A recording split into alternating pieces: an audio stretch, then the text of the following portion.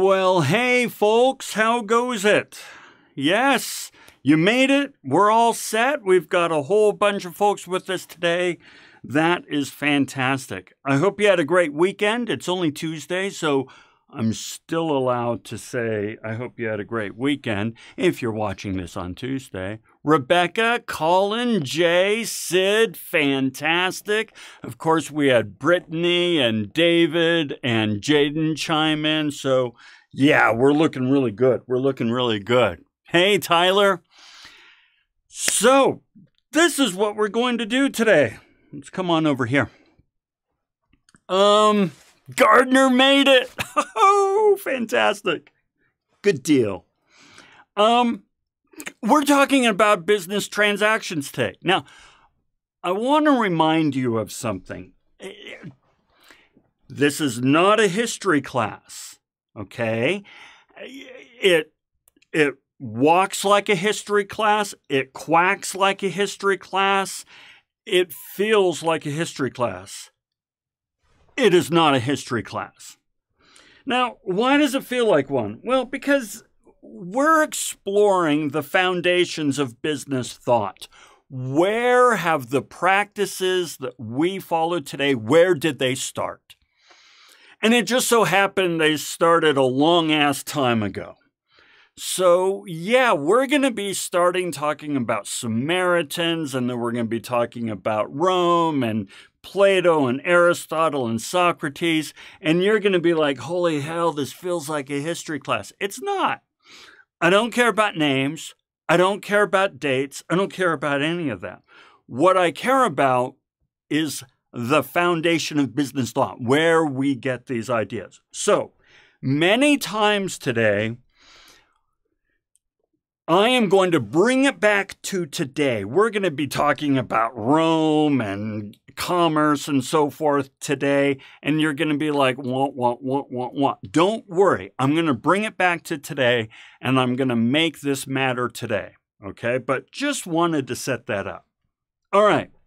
So here's the thing when it comes to a business transaction. All right. Uh, You know what a business transaction is. You've been doing them since you were born. You know what a business transaction is. However, as I like to say, you already know what we're going to talk about today. My job is to help you understand what you already know. Okay?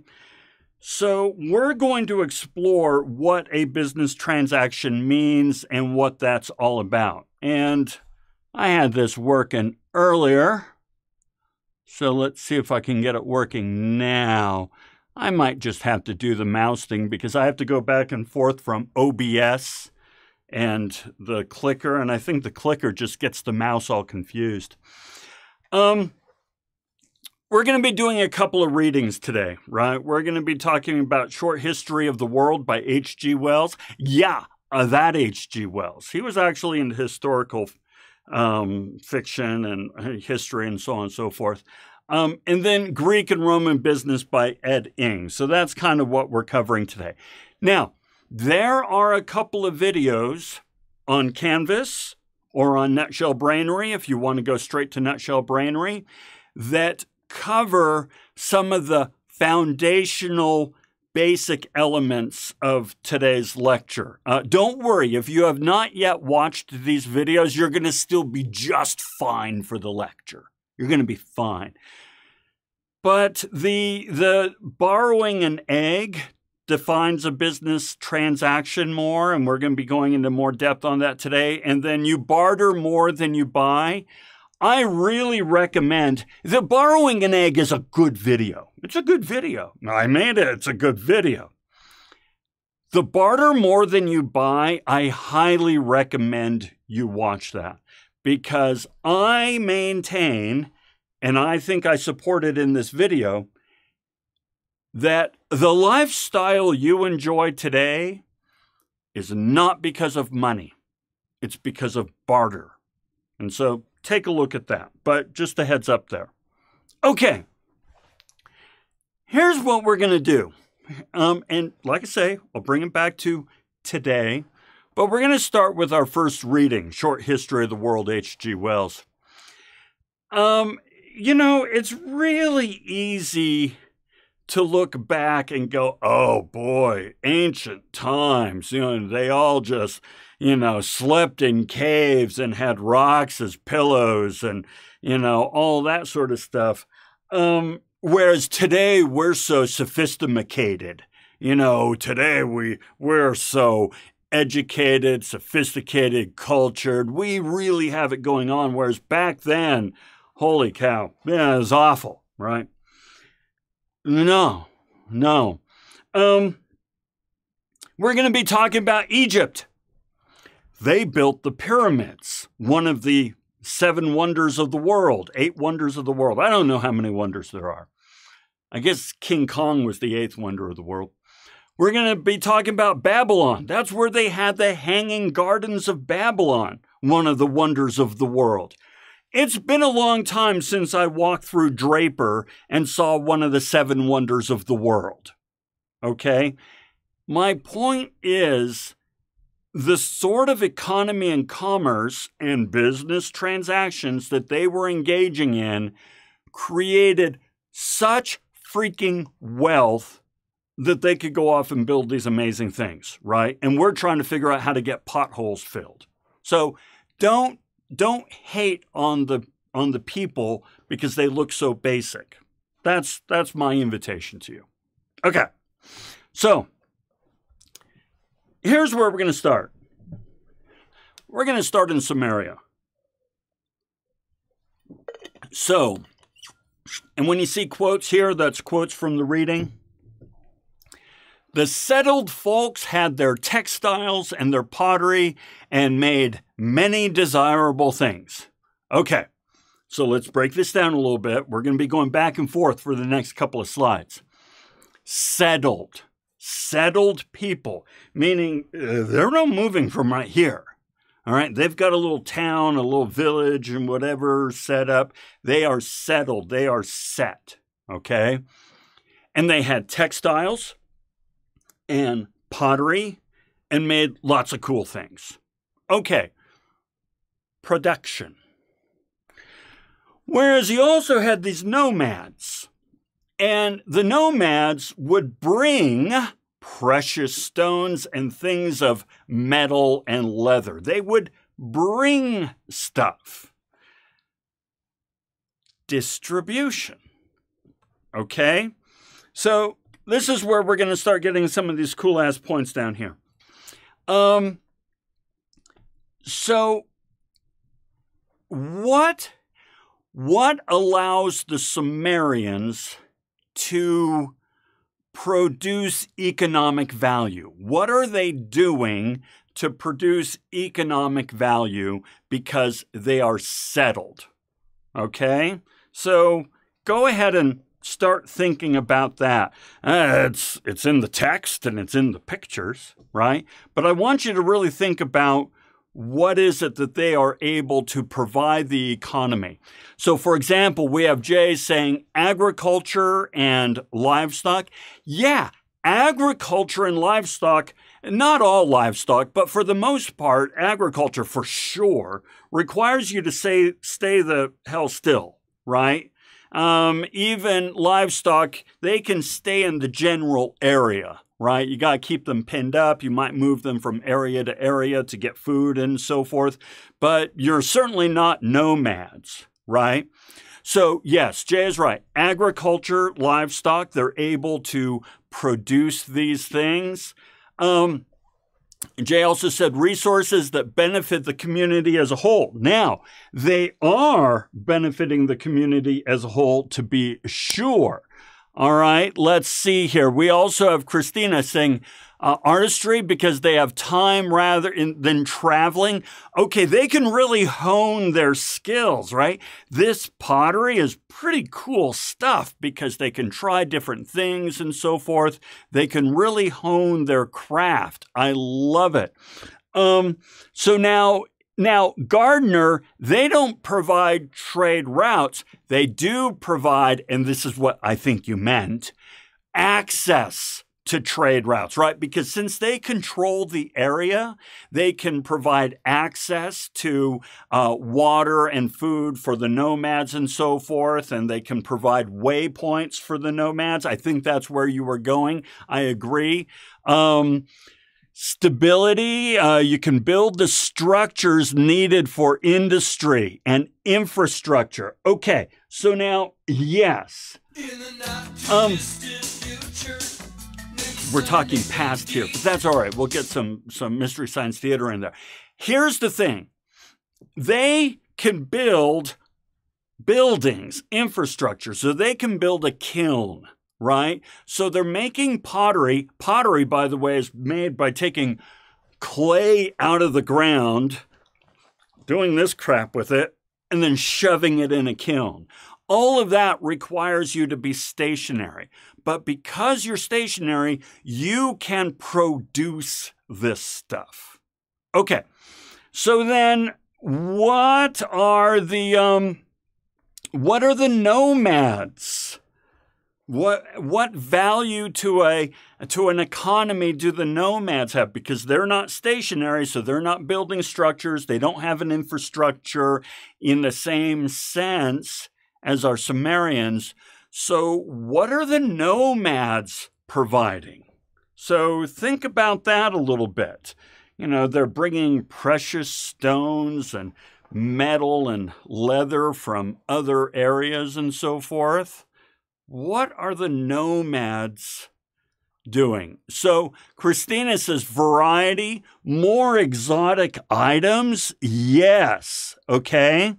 So when you are stationary, nothing's exotic because it's all right here. Okay. They can't get on an airplane, fly to Paris.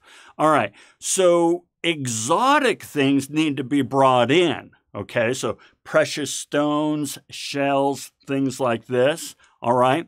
Uh, Brittany says, uh, aren't they helping uh, bring, you know, things from outside the current system? Absolutely. Um, mild sense of scarcity, making it rare, right? Yes. Okay. Now, what they also provide in this is a distribution system. So here's the deal they're bringing lots of stuff in. But hell, they're also going to be able to take stuff out. So I'm making pottery, and for holy hell, I only need so many damn pots. And I've made all these pots and so forth. They have no value to me. A surplus pot have no value into me to me, okay? However, if I take the surplus pot that has no value to me and I give it to a nomad and the nomad gives me something in return, some cool shells and stones and so forth, now all of a sudden that pot has value. Now the nomad in some cases doesn't want the pot. We'll come back to that. They can go off and sell that somewhere else, barter it, and so forth. I like the way Brittany puts this insert new life into the economy. I like the way you put that. So now, the the nomads, of course, can you know go ahead and trade and so on and so forth, but they get a lot from the Sumerians as well. Not just okay, now we can trade. Check this out a a one one thing that both the nomads and the Sumerians want is access to markets. Because if I'm a Sumerian and I have all these surplus pots, they're useless to me, they are valueless. But if I can trade them, they now have value. Therefore, I want more access to markets. Well, the nomads say, well, you know what? We want more access to markets as well. That's what we're all about. We're nomads. And so the Sumerians said, okay, that's cool because what we can do is we have textiles and we can do leather working and so forth. Um, we can make you special clothing that allows you to go to colder climates. And we can make these really cool pots and bags that form fit to your camels so that you can carry more water and go further or carry more goods and go further. And in return, you know, you're going to bring us these shells. And we can grind up these shells and make them into glaze for our pottery and so forth, which increases the value and desirable aspects of our pottery. And so, what you see here is actually a very sophisticated production and distribution system, one in which is ever increasing the value of everybody's work as they collaborate. Okay? This is no different than today. No different. All right? We we inject life, as Brittany, Brittany says, into uh, the economy by accessing markets, by cooperating, and, and all that good stuff. Okay? So, if I come back over here, as I say, with precious metals and leather and station, uh, stationary people, the Sumerians can manufacture more products, which means increasing their manufacturing capacity and the variety of stuff they have. And with garments and bags and clay vases, nomads can carry more tr uh, trade goods and go further, therefore increasing access to markets. Pretty darn handy. Okay, as a result of all this, as it says here, we know that life for prosperous and influential people in such cities as Babylon and Egyptian Thebes um, was already almost as refined and as luxurious as that of comfortable and prosperous people today. Yeah, they had it all going on. We might see this sort of commerce as simple, but it creates wealth, which we're going to talk about later. It creates value. And as a result, folks are really successful. They're living some pretty awesome lives. They're doing well. Okay. But then what happens? Well, actually, let's let's pause for a moment. Um, we'll get some more pointies. This may be ancient history, but the practice and results are not. Where do we see this today in our everyday communities? If you look around your community and so forth, who's out there taking something of relatively low value and converting it into something of higher value for somebody else? Jay, a yard sale is like a stupidly fantastic answer.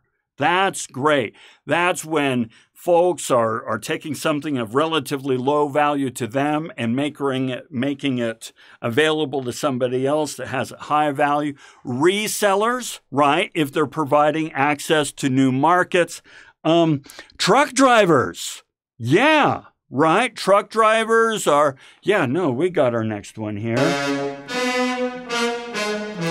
Plan 9 from outer space. Uh, real estate, yes, okay. Um, we've even got mining going on here with Kennecott and so forth. Um, there's really, I mean, everything around us is just like what we see here. Very good. Okay. But now, there is a however. And this is a, we're going to read some history, but then we're going to bring it to the here and now very quickly.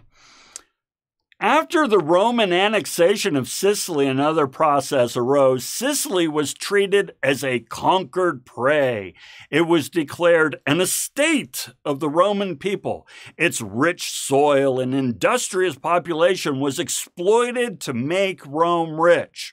Uh, the patricians and the more influential among the plebeians secured the major share of that wealth.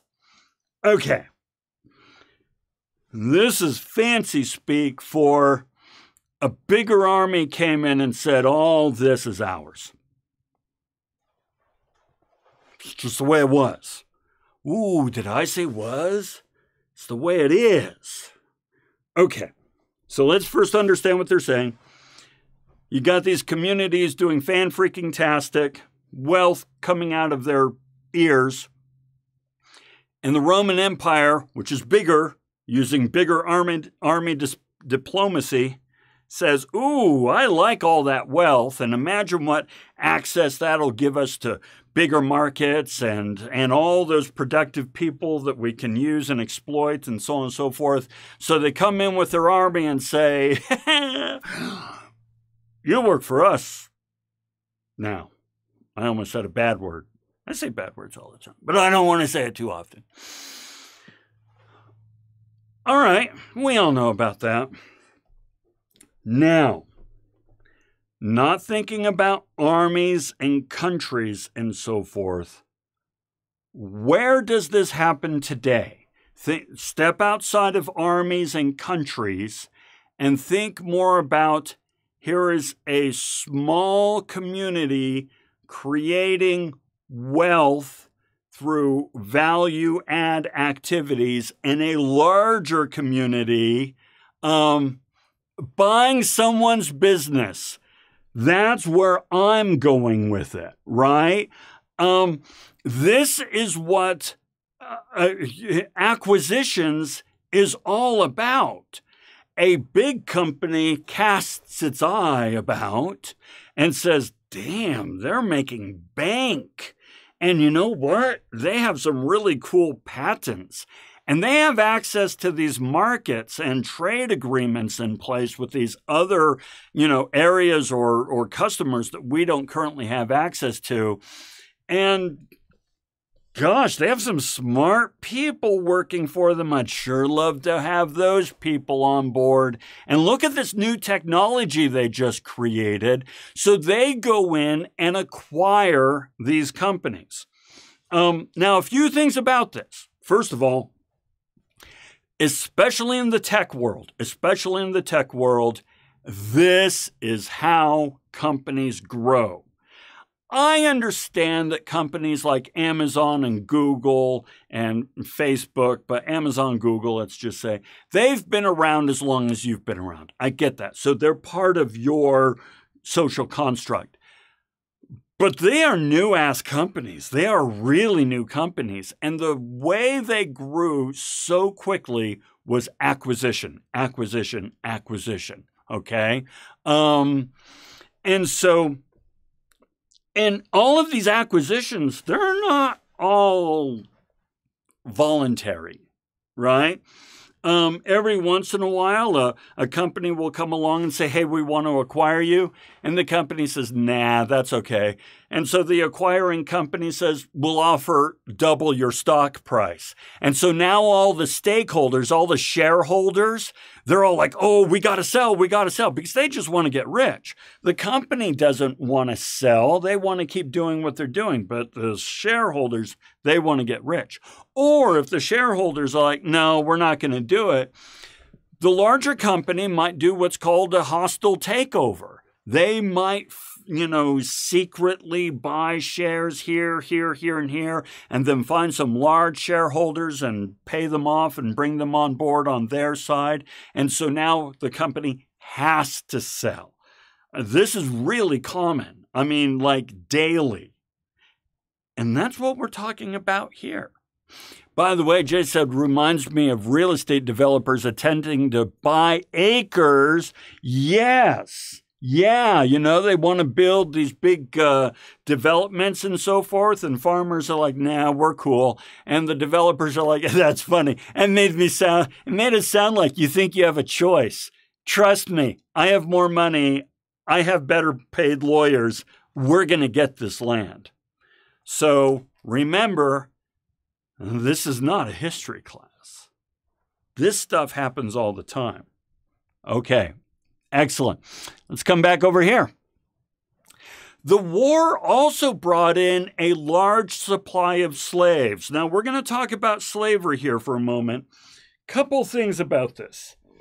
First of all, in ancient days, the wealth was because of slavery. It just was because of slavery. This is what created wealth um, among other things, right? But I'm just telling you that was a major economic engine. The next thing I'm going to say is it's not as gone as you might think it is. All right. It is uh, uh, heinously depressing how much slavery and child labor is still practiced in this world today. And we just don't really know about it because we don't see it. It's not immediate.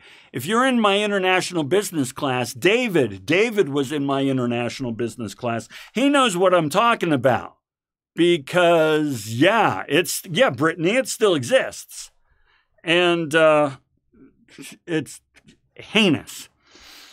I want to acknowledge this, all right? But now I want to bring it into real, not real world because it's in the real world, but I want to make it more relevant to us. So bear with me. The world, uh, the war also brought in a large supply of slaves. Before the First Punic War, the population of the republic had been largely population of citizen farmers. So we're all farmers. We're all farmers. Ah, we farm, yay, we farm. Okay, so we're all farmers.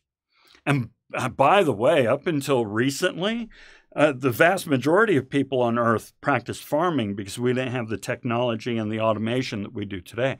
Anyway, so we're all farmers.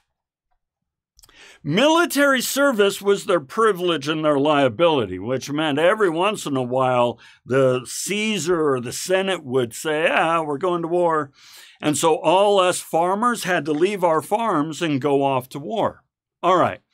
While they were on active service, their farms fell into debt and a new large scale slavery agriculture grew up.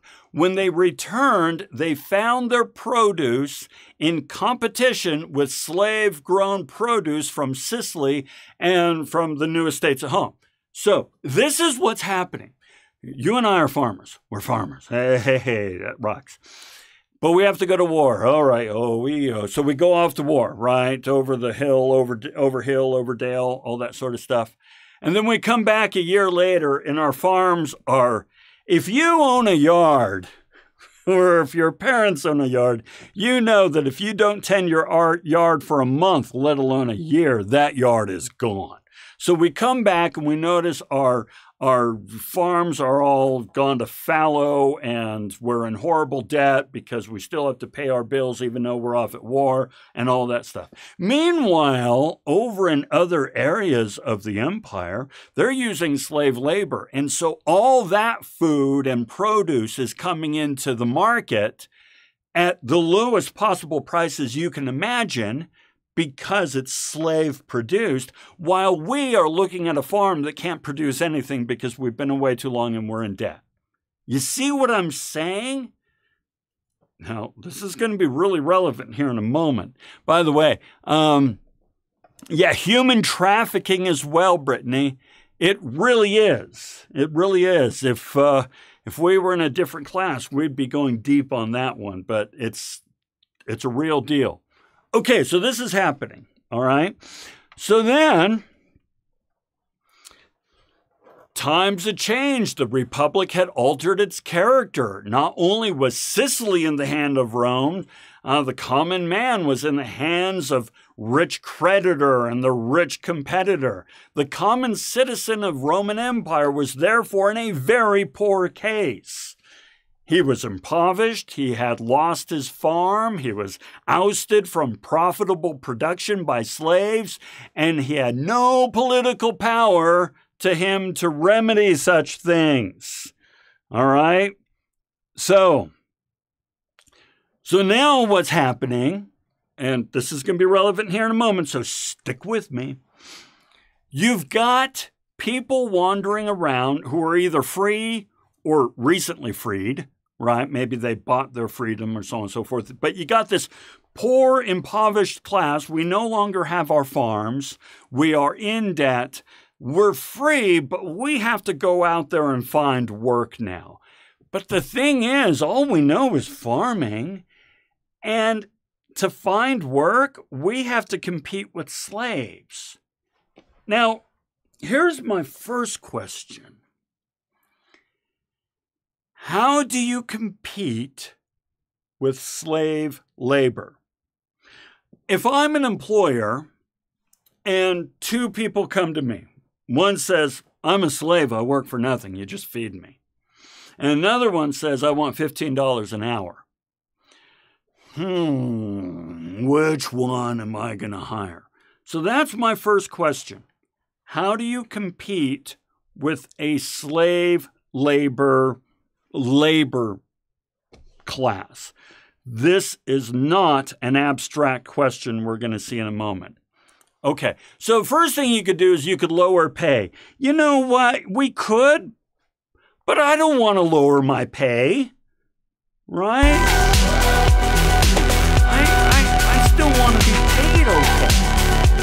Uh, so we could do that, but then it becomes what we call a race to the bottom. In other words, who's going to work for the least? And since slaves work for zero, the bottom is pretty darn low. But this is what a lot of companies do. So lower pay. How am I going to compete, guys? How are you going to compete if we have slave labor out there? So think about that. This is this is highly relevant. Don't worry, you'll see on the next slide. Um, Jay says offers slightly better benefits such as food. Okay, now what I'm what I'm saying, Jay, is us as employees. I think you guys are thinking as employers, which is actually pretty darn cool because you are the future employers of this of this nation. I'm talking about us as employees. How am I going to compete to get a job when the other pe- person competing to get that job works as a slave? That's what I'm asking. How am I going to get a job when others are out there working for more or less free? How am I going to do that? Now, as you think about this, I'm going to tell you why this matters to you. Um, as in the wrong slide. Um, have better skills than everyone else. I really like that. Um, negotiate your position depending on what skills you have. I agree. And this is why it matters. Now, I'm going to say for a moment that I get that I'm an old man.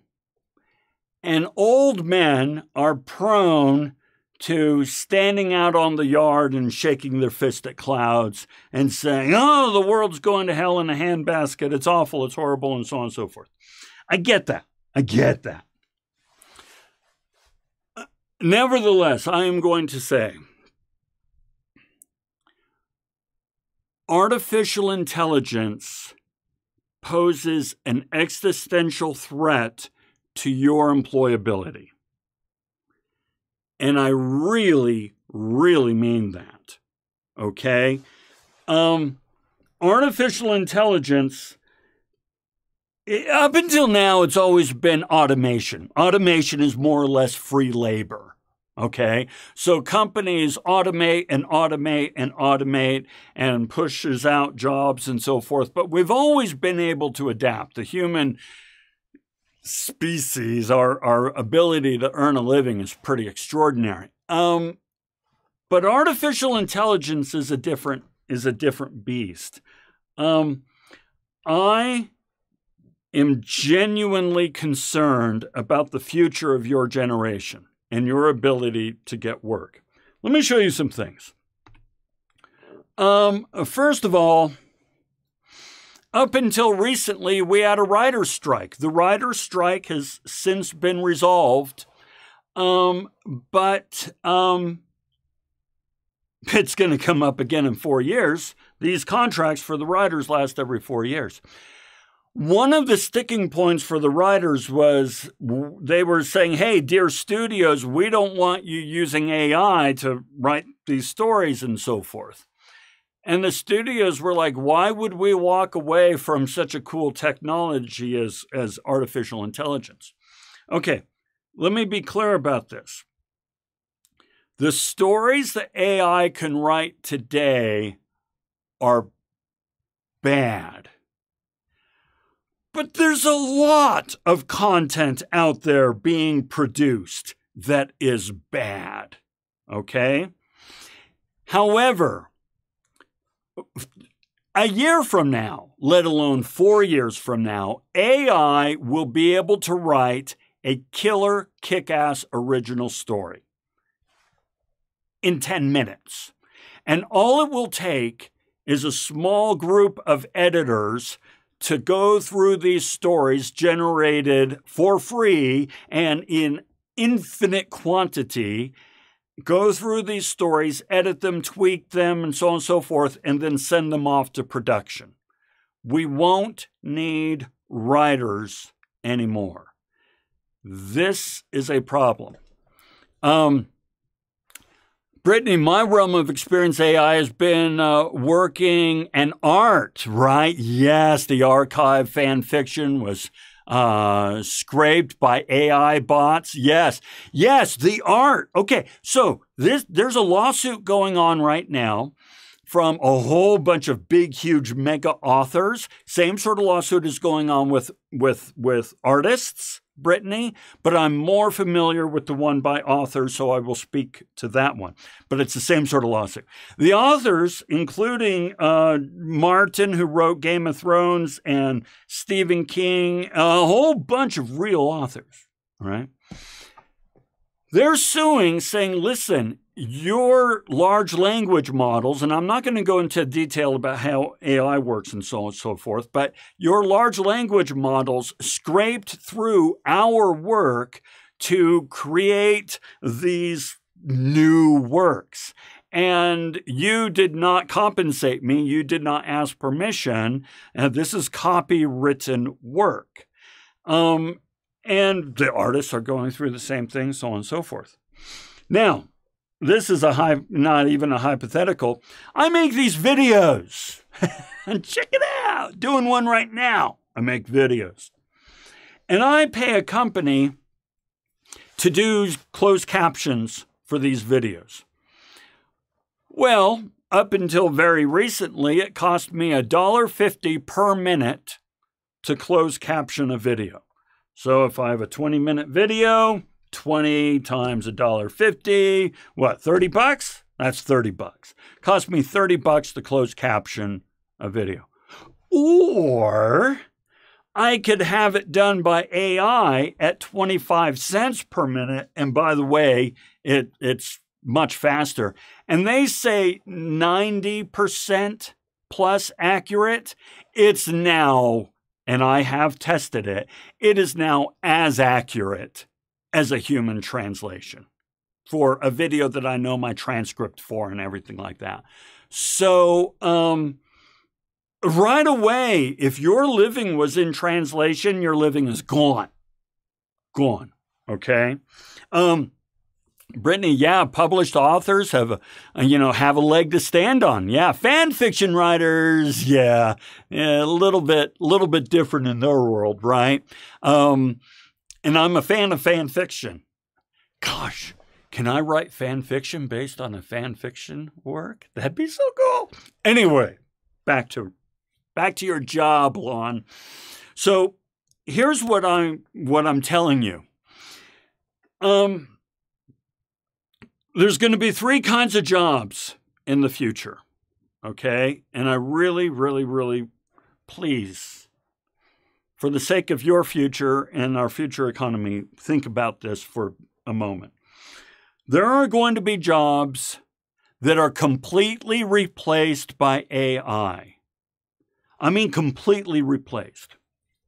Don't go into these industries. We will, in fact, be answering the question what industries should you look at and should you not in a future lecture. So we won't go into it now, but we will talk about this in detail. There are jobs that will be completely replaced by by AI. Okay, um, we'll talk accounting, Brittany. Same bat time, same bat channel. We'll talk. Then there are jobs that AI will never touch, and I mean never, ever touch, at least in our lifetimes. Okay, so you really want to look at those jobs.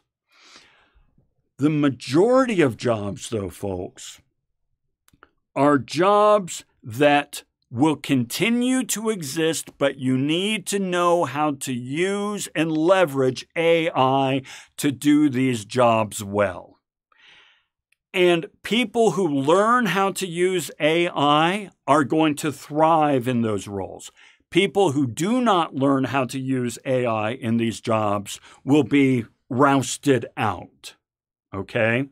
These are the majority of the jobs.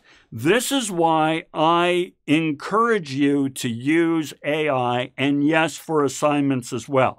If you go to the welcome packet that I sent out to you, um, I have a link to a live stream that I did about how to use AI in school ethically.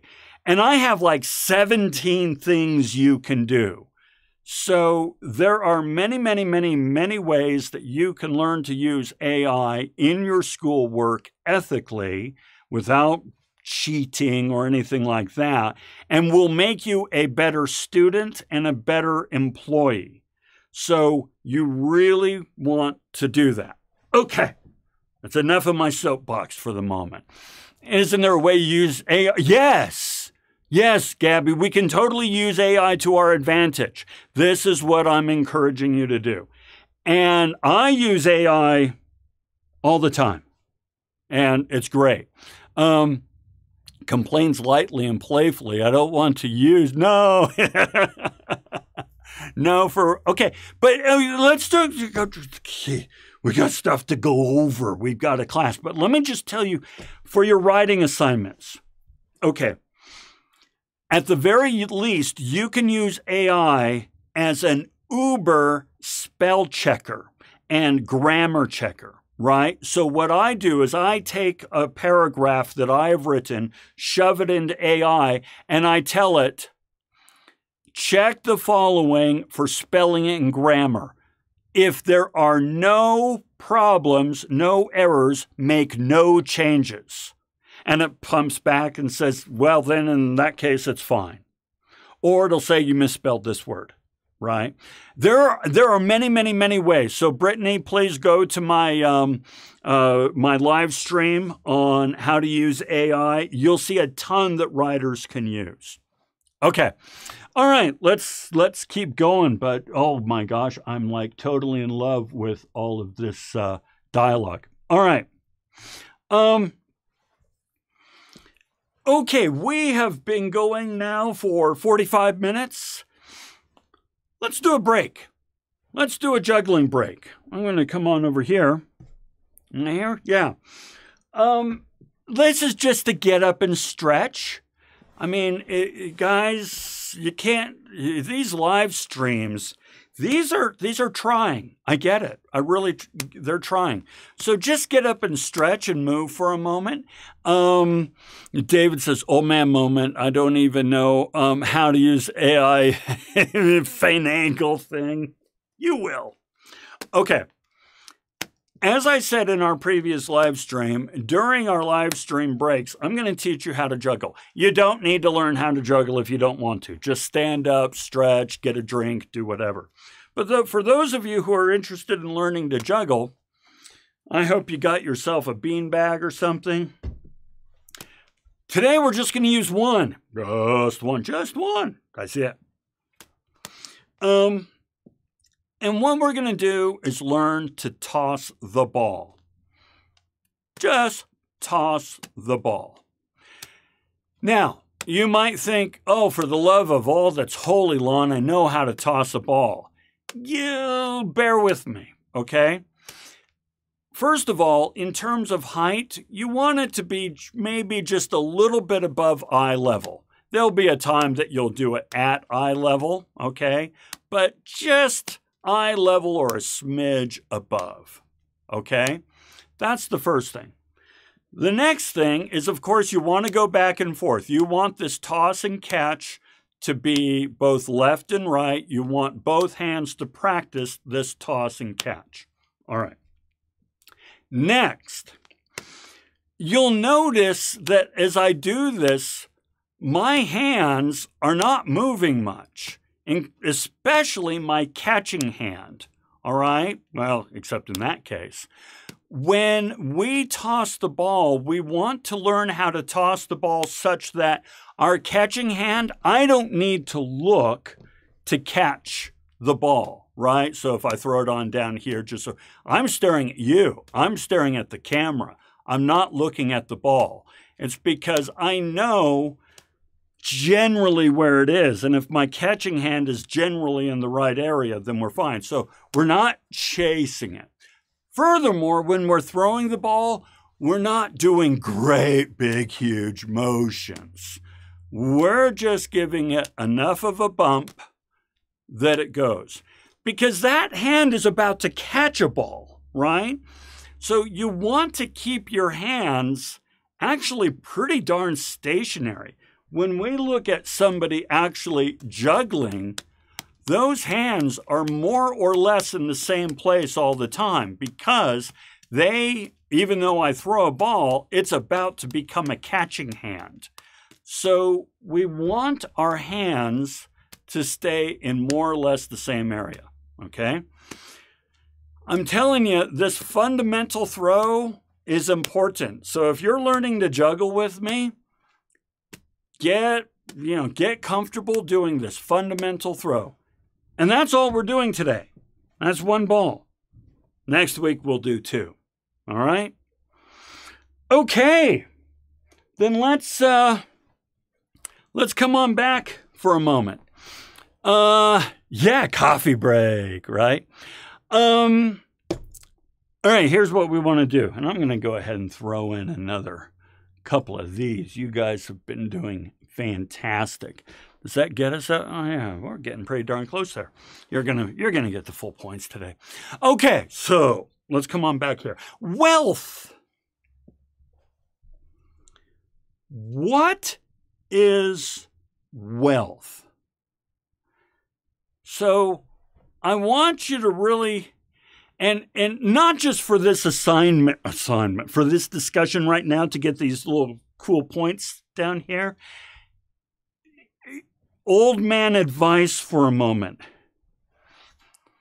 Really take the time and it'll take months to fully understand what does wealth mean to you. Because i'm just going to go ahead and tell you right now wealth is not the same thing to everybody Everybody has a different idea of what is wealth to them. But in order to live a happy, fulfilled, thriving life, you need to know what does happy, fulfilled, and thriving mean to you. In other words, what is wealth? So let's play with this for a moment. I got Jay saying depends. Uh, yeah, you know, subjective beliefs. Yeah. But Jay, I'm asking what's your subjective belief. What's what's wealth mean to you? Let's play with this for a moment. We're gonna we're gonna fill this out down here. What's wealth to you? Let's see some ideas. And by the way, you can't be wrong. Isn't this class awesome? You can't be wrong. They're all good answers. Okay, so money. All right, now here's what I'm going to say about, about money, right? I maintain that money is not wealth. It is what money provides. So, what does money provide that makes it wealth for you? Now, David said, comfort. Yes, I would agree with that. Someone with, uh, you know, good darn salary or lucky lottery, right? But again, that is, gives you money. What is it that money is giving you that makes it wealth? Because if you had a stack of money right now, at this very moment, you would have more money, but you would not have a better life, how are you going to use that money to get the better life? Okay, Gabby says freedom. All right. Um, if freedom is just one word, so I am going to read some things into this one word. For me, freedom is financial freedom. I don't have to work a job I don't want to work. Autonomy, um, free time for me uh, that way, freedom from creditors and so forth. This is what freedom means for me. It can mean anything to anybody, but Gabby, when I see that, that's what I see. Uh, Jocelyn, being able to live a comfortable life. And I agree. I agree. You can't be wrong, remember? What does comfortable mean to you? Um, I I am comfortable in my home. I'm very comfortable in this home. Somebody else could be comfortable in less of a home. And I know people in my neighborhood who have sold and moved to bigger homes because they weren't comfortable in their small home in my neighborhood. I'm like, uh, you scum. But you know, okay, so what does comfort mean to you? Um, purchase power. Ooh. I like that. Yeah, I want it. I'm going to get it. That's a pretty, pretty heady stuff. I really agree with purchase power. Um, for my 20th wedding anniversary, which was 15, 16 years ago or whatever, my wife and I went to Europe. It's the first and only time that we've ever traveled like that because we said, all right, we've got to do this. And I saved a whole bunch of money and so on and so forth. And when we were traveling, anything we wanted, we did or bought. And it's the one and only time in our lives that we were able to experience that. And it was like being drunk. I've never been drunk, but I, I can imagine. Um, monetary value, thinking long term, it would be freedom and ability to travel. I like that a lot. Um, education, oh, stupendous, right? Um, well, for me, it would be a peaceful life on a plot of land that is self sustaining and where I don't have to work long hours to maintain ease of life. Um, by the way, and, and this is just me playing with you. And is this the button? Where's the button? No, I can't find the button. I have a cool button that does button things. Oh, well, we'll just do that because you guys got the, the full points there. I need to fix my other button. Okay. There's no such thing as self sustaining land with no work, just so you know. But I feel you. I feel you. I totally get it. Um, wealth for me would like, okay, let's see, financial knowledge. Oh gosh, Gabby. I wish I had studied personal finance much earlier in my life. Um, I feel like I've made a lot of mistakes because I did not have financial insights and knowledge and so forth. Don't want to be the first thought in my mind when I see, can I afford this, the, this, this month? Yeah. Oh, Brittany, I get it. Right? Yeah. Yeah. Okay, Brittany, you get what I'm saying. 40 to 60 hours a week to be self sustaining, right? Actually, we're going to talk. Oh, I get have you noticed I like my job? We're going to talk about this like in a week or two, how division of labor and the community actually enables us to live better. Although I get the idea of self sustaining, okay? Yeah, Colin, I got confetti. Sure, right? Okay. So here's the thing. As Jay said at the very beginning, wealth is subjective. All right. Um, but wealth is also, and this one didn't come up here, and that's not a problem. I asked what wealth was for you. I didn't say what it was for a nation or anything like that. Wealth is also the economic environment in which you live, public wealth. This is what I mean. Um, and I think I did this diatribe with you earlier, but I'm going to do it again because it's I'm the professor. I get to do what I want, which is actually wealth for me, just so you know. Um, you live a pretty sweet, the average age of everyone here is 22, and you live a pretty sweet life. Now, I say that, but I also want to recognize that I do not know you. I do not know your life. And you have definite trials that you go through. And you've gone through trials and you've gone through traumas, and it doesn't always feel like a sweet life. I understand that. I get it. However, allow me this moment to say, in general, for the most part, you don't wonder where am I going to sleep tonight? Where am I going to get my next meal? Um, you you have safety and security in your life. You also have computers and internet connectivity. You spoiled brats. And and you have streaming services and you have these cool ass things, right? Um you live a pretty wealthy life. You have transportation, you have access to nice roads. All of this wealth is because of public wealth. And one of the things the reading talks about, oh, that's why it did that before. No, no, no, I want to do that, and then I want to do that. Um, a lot of this public wealth is what the Greeks and Romans were really into, okay, is creating a society, an economy that allowed everybody to live a pretty darn sweet base level of wealth, okay?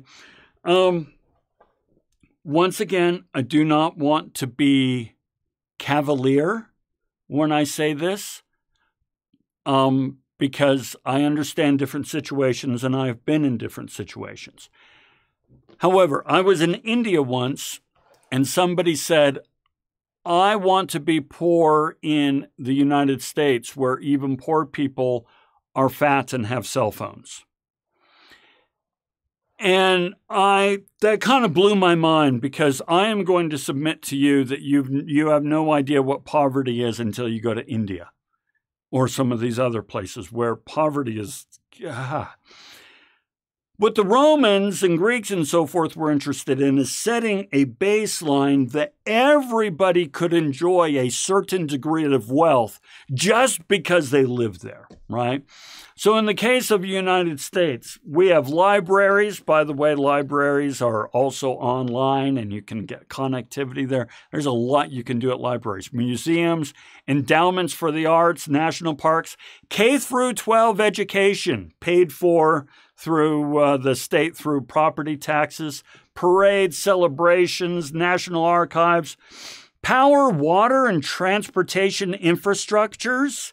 Don't diss power, water, and transportation infrastructures. These are the backbones upon which wealth is created. Um, so, just something to bear in mind in terms of the reading and the questions and the tests and all that sort of stuff. Brittany, as a 35 year old millennial, I would like to counter that just because uh, even the homeless people can have a cell phone, it doesn't mean uh, there's wealth. Wealth can be a veneer, an illusion. I agree. I agree. Um, so again, I do not want to be count, uh, cavalier about this. Um, and for example, every every year here in Salt Lake, um, or in Salt Lake City, they hold a vigil in the winter for the people, the homeless, who passed away in the city during the winter because they froze to death. And it's always six, seven, eight. And so this is real. I I I do not want to understate the reality of of, of poverty here in our region. That's different than India, though, where they actually have death wagons that move through the places and pick people up each day, right? So it's it. I do contend it's different, but I do not want to understate the um, the anguish and trials that the homeless go through here. Um, my mother always told me to travel internationally, and it'll be uh, humble your perception, come back home. Yes, many places. Um, yeah, yeah, totally, totally true. Totally true. Um, I, so just real quick, I um, I've lived in five countries. Um, I grew up in primarily the U.S., but I also grew up in England and France, and I spent some time in Japan, and then a little bit of time in Malaysia. Um, every country, I speak three languages, so I've been around the block. And while America is by no means perfect. And we have some serious issues and we've got to solve them and we need to work together to solve them. So let's not break ourselves into ideological tribes and start throwing stones and spears. We got to solve our problems. But I really like it here. I've lived in many places. I really like it here. Okay. Um, always been told that we're blessed because we don't have to grow our own food uh, someone has health problems. And we have regulatory bodies that make sure that our food is healthy, right? Yeah. Um, yeah, discount other countries and their poverty levels for sure. Yes, I yes, this is not to do that. Um, I feel financially down sometimes. On the other hand, I feel um, good in the. Okay, so Colin, this is a good point. Thank you for bringing it up. Here's here's one of the things that we need to appreciate is that your baseline is what you grew up with and what's around you. Therefore, when you compare yourself to your baseline of what you grew up and with what's around you, you can think, I am behind, therefore, I need to go to school. I need to get an education. I need to get marketable skills. I need to start a business. I need to get a, a good career going because you're comparing yourself with your baseline and those around you. And so, yeah, you can get down. We're not comparing ourselves with others who we don't see and so forth. So, once in a while, we should travel internationally and realize that we have it pretty darn good. Um, yeah, yeah, Tyler. Uh, even better than traveling and living in one of these countries, uh, get new views on everything. Uh, I lived in Philippines and traveled around Asia. Yes, yes. Um, and then Gardner. You, you, you see what we're talking about there. Totally. Right? Um, happiest people. All right. We need to stay on topic. Happiness is not correlated with money. If you want to talk about the, now don't get me wrong, money rocks. I mean, money is a da bomb, okay? So I'm not trying to be cavalier about money, but it's not correlated with, with happiness. We need to talk about that later on. But in the meantime, we need to do what I'm paid to do so I can get money. I'm just messing with you. Okay. Here's what we're going to. Okay, we started at uh, at 8:30. We've got 9:30. Good. All right, we're almost there. The last thing we want to talk about here is Gibbon and the fall of Rome. So Rome's out there kicking ass, taking names, but as you know, Rome fell, right? Okay. There's only about 18,000 theories about how Rome fell. Gibbon, in the book Decline of the Roman Empire, I have a copy. I have not read it. Um, he has four theories, all right, or four contributing factors. Many other historians disagree with Gibbon. So that means that we are about to go over some theories that uh, on the you know what what brought down the Roman Empire that a lot of other historians disagree with. So why are we going to go over them? Because it's not a history class. I don't care. I don't care. What I do want to do is connect Gibbon's ideas with what you and I go through today. And I think we've done a pretty good job of that today so far. You guys have rocked. You know, we haven't get, gotten all hung up in the history. We're talking about what this means to us. And that's what we want to do. Okay, so let's look through these. First of all, Gibbon says, first is the burden placed on everyone through commandments. By the way, by the way, his root issue, Gibbon's root issue is Christianity. This guy had it in for Christianity. Okay. Now, I don't I don't care if you're pro, anti, indifferent, doesn't matter. what we're talking about is how it affects us today. And it's not Christianity, it's the principles that we're looking at. So just, I'll show you what we mean. Okay, first is the burden. Uh, let's come back here. Uh, placed on everyone through commandments to avoid certain motives in their daily life. Thou shalt not covet thy neighbor's house, thou shalt not covet thy neighbor's wife, thou nor his manservant, nor his maidservant, nor his ox, or his ass, or anything, blah, blah, blah. Humanity should be content with what it has. Any distraction from a pious life was now considered a temptation and to be avoided. So, in other words, what Gibbon is saying here is listen, Rome got rich because it coveted. Oh, yeah. Rome coveted the hell out of the world, right? So it went off and conquered it. Um, and Christianity comes along and says, that's not cool, man. That's not cool. You should not always be acquiring wealth.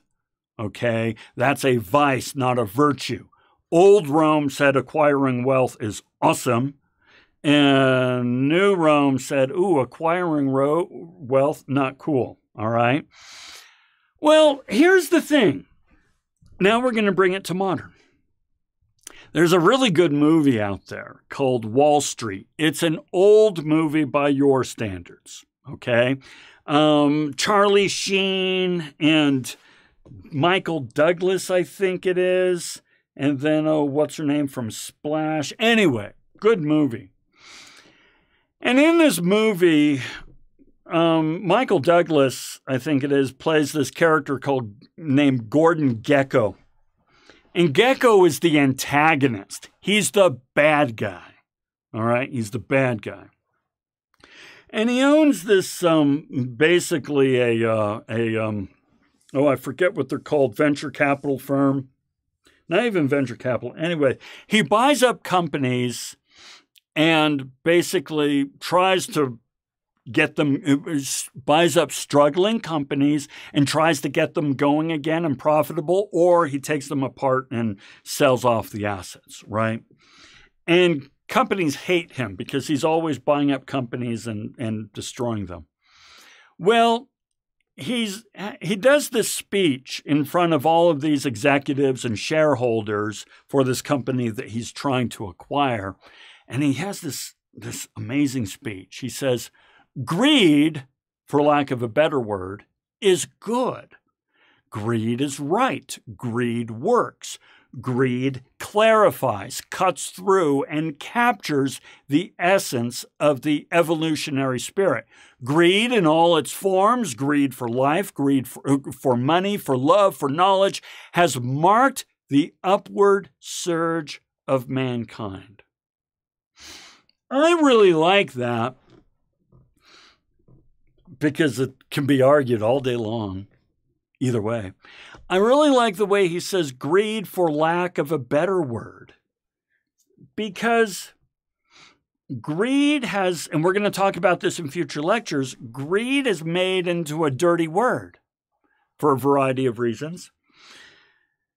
And yet, greed is a driver. When I asked you guys what's wealth mean to you and you put out your wish list, that was a greedy wish list. And that's totally cool because that's what brings you to class.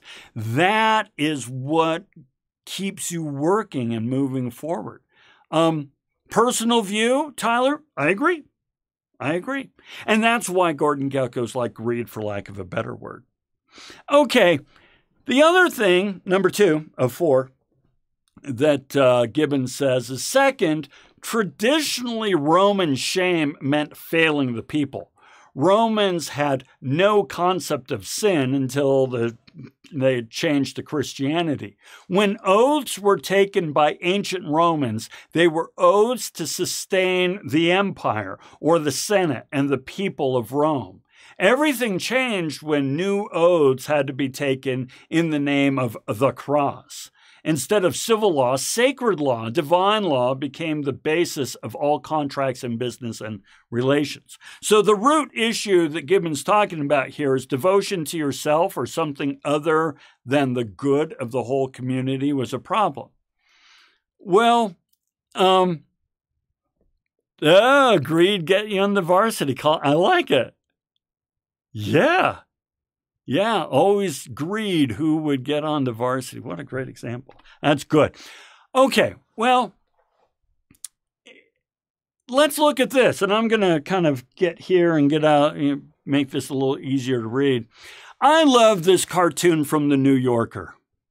This is one of the best cartoons I've ever seen. You know, all these kids out on a desolate earth where, you know, everything's been destroyed. You see some dilapidated buildings in the background somewhat. Yes, the planet got destroyed, but for a beautiful moment in time, we created a lot of value for our shareholders. Um, you know what? This is not ridiculous. Quote from Milton Friedman, Pulitzer Prize winning uh, um, economist. There is one and only one resp- social responsibility of business to use its resources and engage in activities designed to increase its profits so long as it stays within the rules of the game, which is to say, engages in open and free competition without deceit or fraud.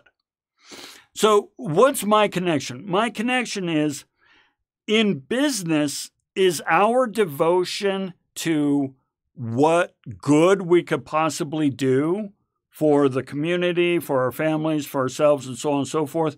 Or is our devotion to creating profit for shareholders? According to Milton Friedman, creating profit for our shareholders is our one and only responsibility. Others will say, no, we have a social responsibility. We have a responsibility to our communities, to the environment, to the planet, so on and so forth. This is what Gibbon is kind of talking about is this push and pull between your allegiance. That's my assertion. Anyway, um, Brittany, greed in definition is an intense selfish desire. Greed is definitely a force pulling people but that force without thought or the impact of your actions can cause greater harm to others. I like that. It's not the greed itself that's problem, it's the actions rooted in greed that do not consider the larger environment. That's interesting. I like that. Greed without restrictions creates a lot of problems. yeah, yeah. But then who sets those restrictions? Remember, you wanted freedom. That was wealth for you. Who sets the restrictions? I don't invite anyone to set restrictions for me, and I don't think you do either. Okay, third, we're almost there, folks. Bear with me.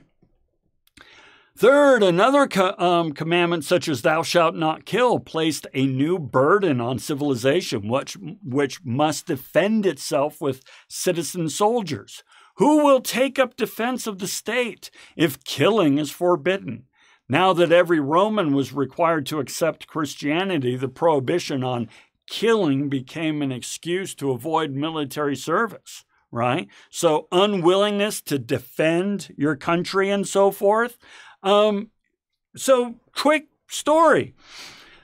Um, my story right here. When I was 16 years old, the son of pacifist hippies living in the Bay Area, um, when this was decided, when Reagan started the draft again. For two years that followed, my friends and I debated what we would do when we turned 18. Some of us registered and some of us did not. So, just to clarify again, I'm 16 years old. Then President Reagan reinstitutes the draft as kind of a scare tactic on the Russians, on the USSR for back then. And, uh, and so when you turn 18, you have to register for the draft. And we talked a lot about that, me and my friends. Like I said, I, I grew up with, with pacifist uh, parents, and all my friends were in the Bay Area. Most of us were. Some of us registered, some of us didn't. That became a, a, an issue, right? So, this is kind of what Gibbon's talking about.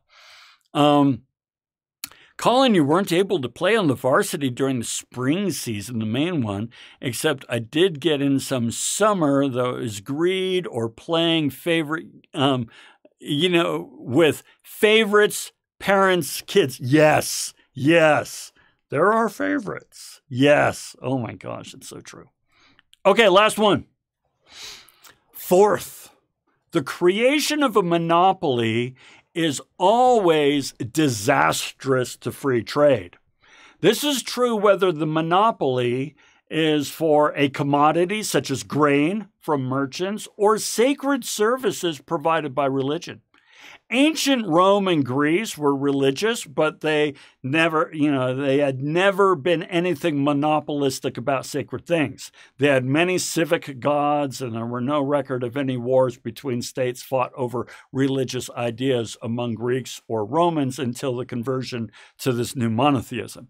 So, what's the root issue? Insisting that there's only one right way rather than acknowledging that there might be nuances and many options and so forth. Where do we see this today? We see it in politics and ideologies, right? Somehow or another, many of us have bought into this idea that there are only two solutions, and you're either with us or you're against us and and and we are going to just beat the living bejesus out of each other until there's only one person standing in the ring okay? Um and enjoy the next 11 months everyone because that's what we're going to be seeing whereas recognizing that everybody's in the middle and we're all centrist and we're all in the middle and and and actually we agree on a hell of a lot more things that we disagree on that's not what you're encouraged to think about. You're encouraged to focus on the differences and encouraged to vilify those who think differently than you do. And this is on uh, both sides okay so that's the main root issue that Gibbon was talking about there. All right. You did it. Oh, my holy hell. Good for you. Uh, we went, gosh, I guess, uh, uh, you know, it's only uh, an hour and 20. That's all right. But your contributions were epic. Thank you. Really, thank you. Now, I encourage you once again to watch those two videos that I referenced there at the beginning, the two videos that are in Canvas. And um, and when it comes to the readings, we went over everything that you really need to care about in the readings. So if at any stage you're like, what do I need to look at and so forth, pull up this video and just click through to the place where you're trying to figure out what you're supposed to answer or what have you, and then you can find that in the reading itself. Um, but you're in good shape. But if you've watched those two videos, then with what we went over today, you're golden going forward. Okay. Yeah, Brittany, you crushed it. You crushed it. Um, as per usual, please drop me an email and just say, here. That's all you need to do. That way I know because, you know, I know we got Colin and Brittany and Tyler and so on and so forth, but then we have like T King. I don't know who T King is. Hey, T King. Somewhere out there. But that way I just know who's here and I'll go ahead and get you these uh, sweet, sweet extra credit points. And then, as always, I'm going to hang out here a little bit and yeah, right, there's T King, right? All right, we've got the Yankees fan there. Um, I'm going to hang out here. So if you have any questions or anything you want to discuss, we can go over that. If you would like me to set up a Zoom meeting so that we can talk uh, individually, I can do that as well. But otherwise, you're all set. Have a fantastic rest of your week get on to the, if you haven't done the assignment for this week, which was last module from last week, So last week's lecture is due this week. Get on to that. And heck, if you've already done it, then do next week's assignment today because we've gone over everything. All right? So, yeah, have a good one. Gardner and Tyler and Jocelyn, Rebecca, thank you. I truly appreciate it. Your, your contributions today have been great. Aline, thank you. Yes, good to see you here too. Yes, we're almost done, Puppy. Puppy wants to say hi again. Oh, yeah, Puppy wants to say hi again. Say hi. There they are right there. Yeah, they're right there. Yeah, okay. Oh, we'll see you, David and Brittany and Jaden and Colin. Well, oh, Jay, I need to. What's the um De nada? There we go. I was trying to remember the response to gracias. Christina, we'll see you later.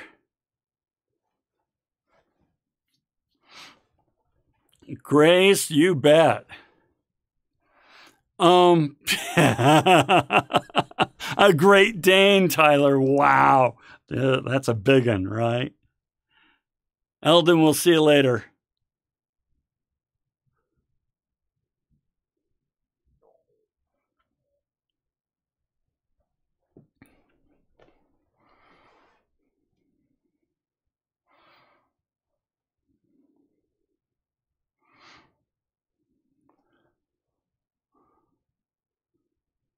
Normal sized? A Great Dane? I don't know that I believe that.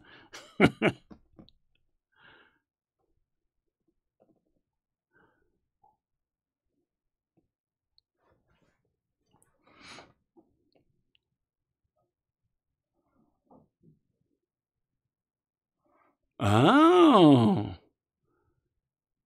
So normal size for a Great Dane. All right, all right. I can buy that. We have a couple of Frenchies as well, and one of them's a little small and the other one's a real brute. So, yeah.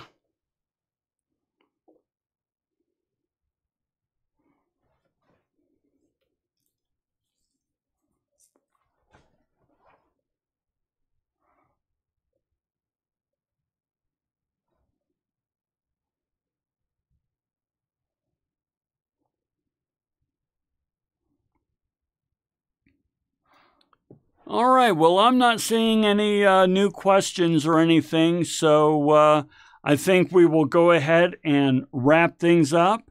Have a, uh, there we go. Have a great week, and we'll see you next week.